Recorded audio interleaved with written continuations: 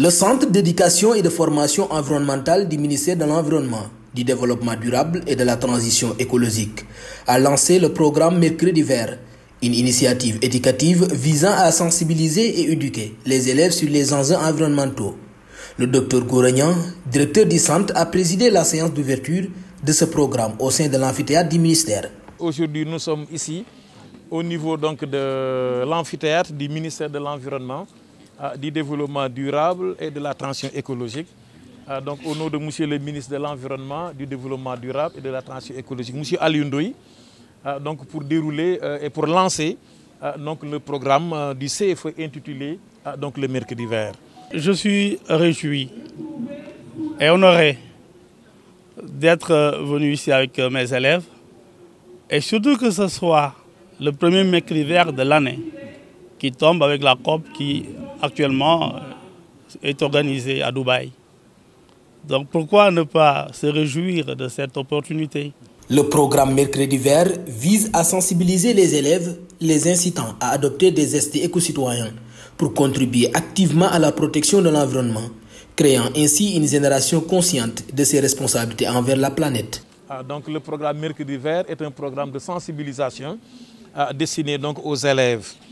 Donc le mercredi soir, on se regroupe ici au niveau de l'amphithéâtre qui peut prendre jusqu'à 300 élèves donc pour ne parler que d'environnement, de développement durable et de transition écologique. En fait, nous voulons donc instaurer donc chez les enfants, donc chez les jeunes, donc des gestes véritablement éco-citoyens, donc des comportements qui leur permettent donc d'agir de façon responsable, mais aussi d'agir pour pouvoir protéger donc la terre, donc qui constitue, comme je le dis toujours, notre abri pour le moment.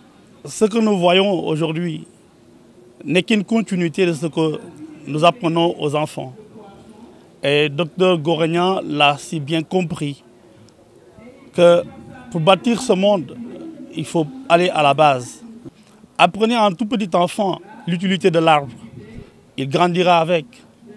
Mais un adulte qui déjà a l'habitude de couper l'arbre pour en faire du bois ou autre, vous revenez aujourd'hui pour dire voilà le sens de l'arbre, c'est difficile pour qu'il puisse, n'est-ce pas, arrêter de faire ce métier-là. Les cours Saint-Vallier de Malika ont participé activement au lancement du programme Mercredi Vert, initié par le Centre d'éducation et de formation environnementale. Ce projet de sensibilisation environnementale sera étendu tout au long de l'année, impliquant d'autres écoles. Donc nous avons reçu aujourd'hui les cours Saint-Vallier de Malika, donc conduite par son directeur, M. Christian Toupane, accompagné donc de son personnel enseignant, de son personnel d'encadrement, de son personnel de soutien, pour amener aujourd'hui les élèves, donc pour échanger avec les CFE donc sur ces programmes donc de bois d'école, sur ces programmes éco-gestes, sur ces programmes donc de lutte contre la dégradation de l'environnement et particulièrement le programme Mercredi Vert qui nous réunit aujourd'hui. Aujourd'hui, on l'a lancé, c'est le lancement. Mercredi prochain, d'ailleurs, on doit faire un autre Mercredi Vert avec le CEM APIX de Ganaouraï Sud.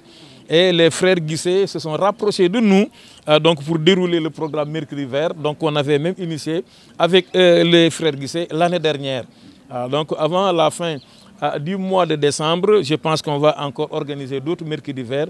Et notre souhait, c'est de l'étaler sur toute l'année. La nécessité d'actions concrètes, de sensibilisation et d'un renforcement des capacités pour encourager des comportements responsables a été mise en avant, soulignant l'importance d'enseigner au-delà des salles de classe. L'éducation à l'environnement et au développement durable est un pilier extrêmement important pour protéger l'environnement.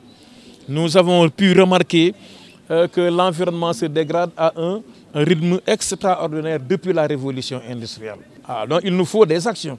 Et entre autres actions, il faut éduquer, il faut sensibiliser, il faut communiquer, il faut informer, il faut renforcer les capacités des acteurs donc pour que donc, ces mêmes acteurs-là puissent adopter des gestes véritablement de protection de l'environnement. Donc euh, on ne peut que se réjouir de, ce, de cette journée. Et ce que nous, venons, nous, nous sommes venus chercher, je pense que nous l'avons reçu de, par le docteur, L'enseignement se fait tout le temps entre les quatre murs.